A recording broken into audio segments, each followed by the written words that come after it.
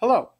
There's a lot of information out there about the pros and cons of choosing either an online course or an on campus course. I'm making this video to make your decision easier. Knowing what you're getting yourself into is really important, so please consider the following.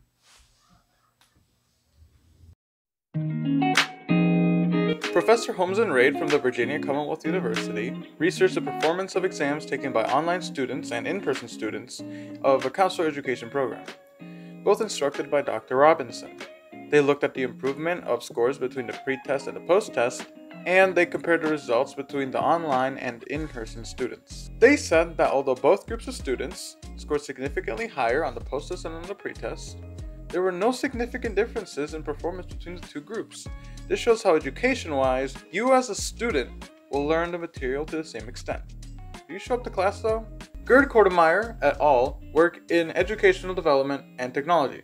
They studied how student attendance of lectures is affected by whether the lecture was in person, online, or hybrid. Student attendance can affect how students do in their courses. The students who preferred online lectures mainly mentioned how the lecture halls were too distracting. We aren't always at 100%. Students who suffer from depression said it was easier to just watch an online lecture, while other students claimed that they felt depressed that their friends were not there to support them during lecture due to them talking about difficult topics. Another point was that a student could not focus on the lecture due to their ADHD. Many students, including those that mentioned how mental health affected their education, mentioned how the ability to speed up a video, pause it, and go back to wherever you want to watch was something that was really useful and helpful. I find it extremely useful when I need to take notes. In a lecture, you cannot do that. And some students expressed that the professor sometimes had illegible handwriting and or had pacing that was way too fast. The differences between online and on-campus courses only start at education. Let's go look at some general pros and cons. This is a summary of a previous section. Feel free to pause if you want to keep reading. But now, it's time to talk about general pros and cons. Salman A. Lee and Rajiv K. Gupta, instructors in the Department of Educational Psychology at University of Nevada, Las Vegas, stated that current literature suggests that fully blown distance education facilitates and maximizes student learning more effectively than in the traditional face-to-face course format. Some of the benefits of distance education include remote learning from anywhere with an internet connection, flexibility and freedom to work at your own pace, no parking or commuting. This is a big one for me because that commuting time could be used to work on assignments, and those extra 20 to 40 minutes I spend to get to school and back, it would be very useful and very helpful. No need to get ready to go to school since you can do all your learning from home. Online learning is not for everyone though. Gupta quotes Ormrod saying that online learning requires self-discipline and self-motivation. If you have those things, you might thrive in an online learning environment A major drawback of online learning is that you need to have a modern computer and pretty decent internet speeds, or else it'll be a very bad experience for you. Another drawback is that it requires you to already have some background knowledge on how to work a computer, which, if you're watching this, you probably already do. But technical difficulties can still arise during your school time. Life is unpredictable, even in the comfort of your own home. Here's a summary of that section. Uh, you can pause it if you'd like. But either way, it's time to proceed. Let's say you're leaning towards entering an online school. There are distinctions between big online courses and small ones.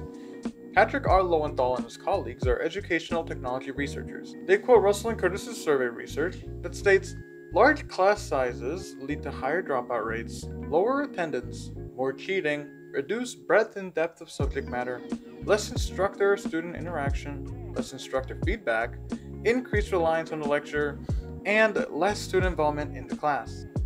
In the survey, they found that students had limited student to student and student to instructor interaction, both in terms of quantity and quality, in the high enrollment course. I have experienced this myself in my own online chemistry course.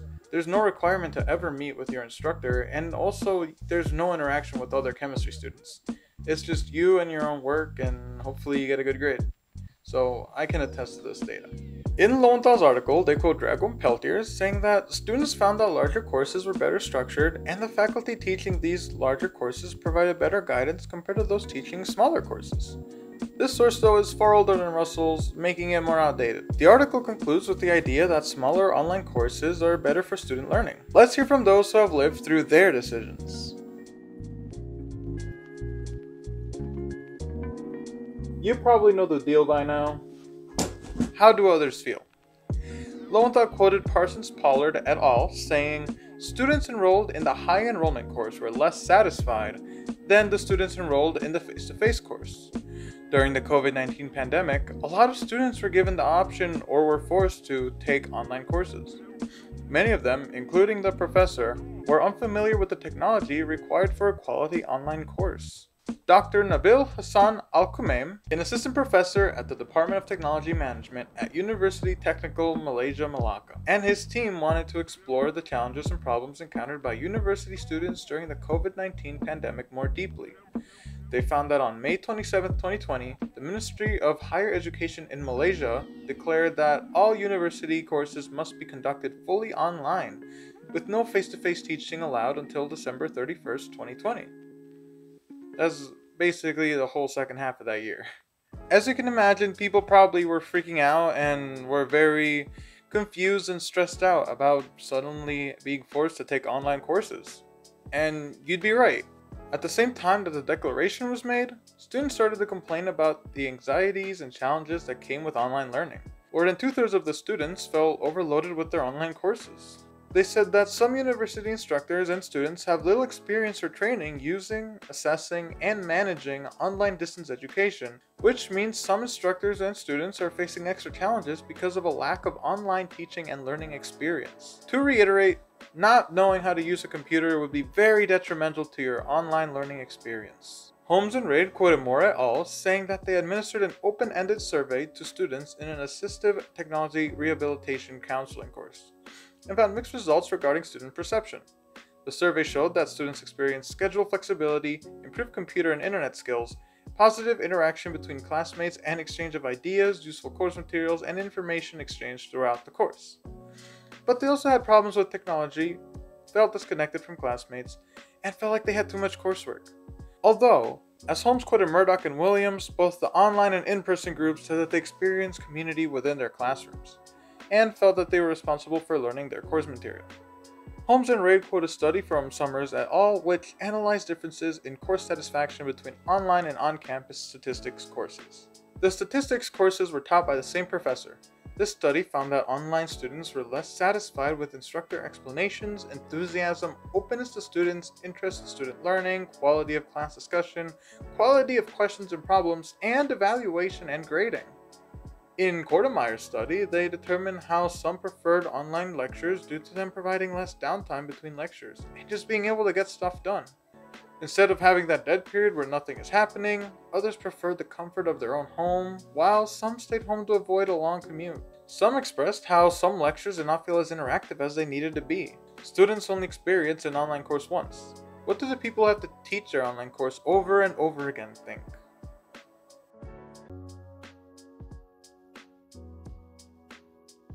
There were a few repeated points from previous sections, which I did not include on the account that I am running out of space.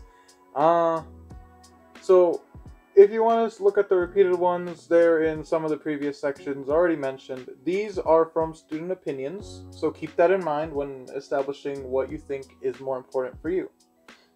That's the whole goal of this, so these are just opinions from other students if that means much to you.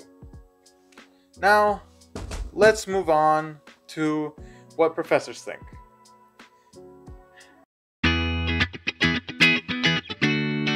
Lowenthal quoted Berenson, Boyles, and Weaver as identifying emotional intelligence as a predictor of student success in an online course. If you have those traits, online school might be where you will thrive. Lowenthal quotes one of the faculty in their experiment, saying that they designed a larger online course with clear deadlines, realistic deadlines, Communication is clear on all aspects of grading, well-designed syllabus and updates in the beginning of the semester to let students know what is expected of them. They also say that there's barely any interaction between students and instructors. I believe that a professor's perspective and opinion are important in this topic. They provide a different view, and that could be very useful in you coming up to your own decisions. Really hearing from someone who is on the other end of this experience. Now it's time for the long awaited conclusion.